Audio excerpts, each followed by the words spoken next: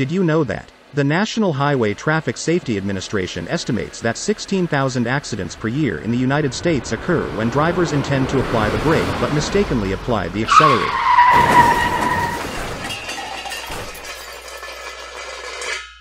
This is a prevalent issue, particularly among the beginners. The main cause of this confusion stems from our brain's lack of proper training to distinguish between the gas and brake pedals, as well as incorrect foot placement. If you often find yourself confusing the gas pedal with the brake, worry not, there's a two step solution. Let's get into the video. Step 1. Ensure that your right foot is positioned straight over the brake pedal, and tilt it towards the gas pedal for acceleration. Avoid moving your heel while pressing the accelerator. This proper foot position can prevent accidental pressing of the gas pedal. Step 2. Take your car to an empty road, gently press the gas pedal for a few seconds, and then switch to the brake pedal.